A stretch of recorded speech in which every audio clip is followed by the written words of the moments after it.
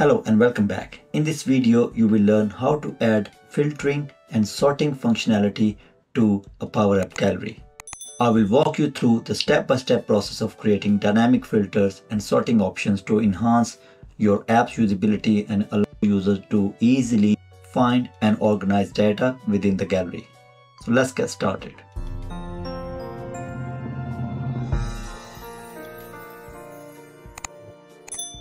I have created an issues gallery here. If you haven't seen the video how I've created this nice looking gallery, click on the Power BI UI playlist showing on the right hand side. You will see all the videos related to the UI I've created. So, so let me play this. So from the left hand menu, we have this hamburger icon. If I click on it, you can see the menu. I have also created a separate video for this one. So if you navigate to the Power App UI playlist, you will see the videos related to the smart navigation and also related to this nice looking gallery as well. Alright, so first thing first, we need to create a filter on the priority column, for example. So let me readjust this gallery. I will move this a little bit down and then I will select this header and then I will move that down as well. So we can add some filter option on the top. From from the top menu under insert I will click on that and I will select input type button and I will place that button somewhere here. I'll, I will rename this button to say all and then I can set an icon for this button to apps list icon. So we are listing all the items. I can do either left align or center align. Okay this way we will create some more button as well. So for each priority filter option will create buttons. So when someone click on let's say priority low, it will filter out and only show the low priority stuff. First thing we need to create a variable on app start. So if I go to app start properties on start property and I will create a new variable and then if I click on this button and on select property of this button, I'm setting that priority filter variable to all. Now I will copy this button for the other priority options. So I will right click on the button and click on copy and then I will control V to paste. So that's a low priority button. I will change this in a bit. And then if I paste again, this will be high. And then if I paste again, this is normal. And then I will create one more for the critical priority option. Alright so I will change the name here and then I will change the icon. We'll match the icon of the priority item itself so it is arrow down for the low. And then we'll select normal. So we'll change the text for the button to normal. This is the normal priority so I will change the icon to the circle. And then we will have a high priority. I will change the text to high and then change the icon to arrow up. And then finally we have critical priority option. So for that we will change the title text to critical and change the icon to dismiss circle. So that's the icon for critical. I will select all these and then I will click on this align drop down and then I will say align top it will set everyone to the same Y position. Okay, so we have created all the buttons now. I'll make it a little bit bigger. So this will look a lot more better. There we go. So we got all our buttons there. Let, let me create a rectangle just to cover this white space. Now for each of this button on select, we need to change the variable value. So for low, instead of all, we'll say low for the normal just change it to normal. For high change it to high and for critical we'll change it to critical. Let's add a rectangle to cover this white space. So I will search for rectangle click on that and then I will put this rectangle just here. Then what I will do is from the left hand menu all those buttons which we have created I will group them I will select them and right click on it and then create a group. Now we have created a group and then I can say this group reorder bring to front and then rectangle I can say reorder send backward. Now we can see that the buttons are appearing fine. We cannot see the shape of the button because the color of the rectangle and button is same. So let's change the rectangle fill color. So I will select the fill property of the rectangle and instead of primary, we can change it. Now let's add a code so this gallery filter works based on the button we click.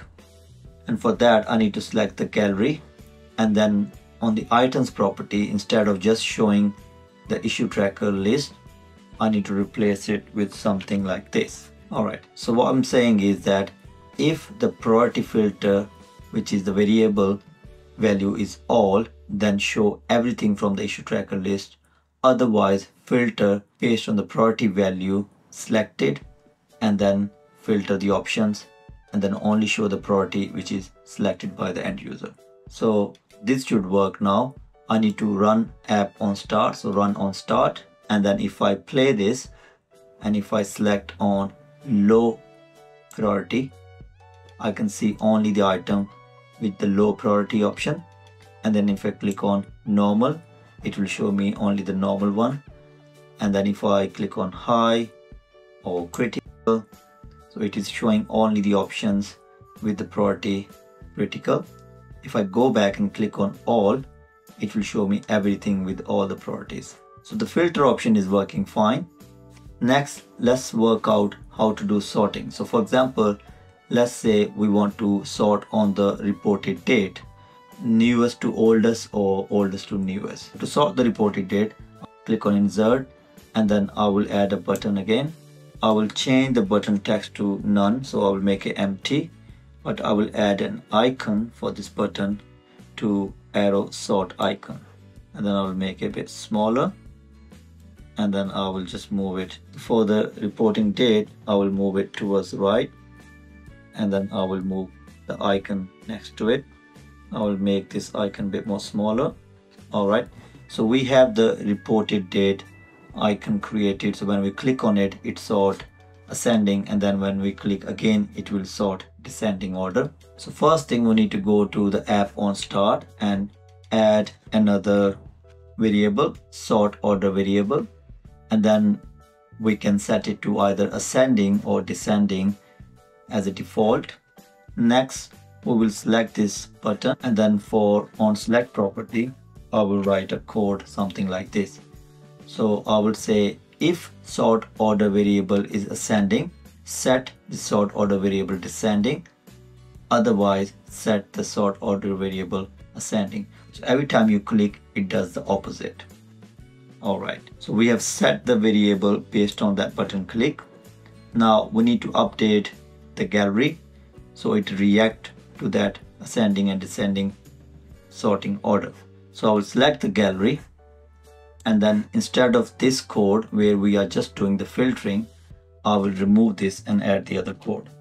Alright so what I'm saying is if the priority filter is set to all then sort by column report dated if sort order is ascending then to ascending otherwise to descending sort order and if priority filter option is selected any other property other than all then filter on that priority value and also make sure that the date order is accordingly showing either in ascending or descending order.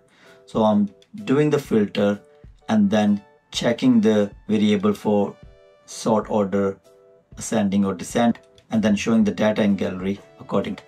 So this way this gallery will be sorted based on the priority and then it will show the date reported in ascending or descending order whenever we click the button. Okay, so let's test this. Before I test this, I need to click on app and run on start so it can recognize the variable. Now, if I play this app, I can click on all and it's already showing that everything. Now you can see the reported date is in ascending order. If I click again on it, now it is showing in the descending order. And then if I click again it is showing ascending order. If I click on low for example it is showing me only the low priority data in ascending order. And if I click on the reported date it will show only the low priority data in the descending order. You can make the UI a little better. What I've done is I've created a label within here and I've added some rectangles just to cover this area to show that this is a filter by priority options. So you can enhance your UI by doing these things. You can also create a drop down for each of the filter options. Um, if you have multiple filter, for example, status assigned to priority, then the better option will be to create drop down for those filter. For this application scope, I want to just show you one filter option and so I've created these buttons. Thank you very much for watching this tutorial. I hope this helped you understand how to add filtering and sorting to your Power App Gallery. If you found this video useful, please give it a thumbs up and consider subscribing to the channel for more Power App tips and tutorials. Don't forget to hit the notification bell so you never miss any update. If you have any question or need further assistance, drop a comment below. I will be happy to help. Keep exploring and building amazing apps with Power Apps. See you in the next video.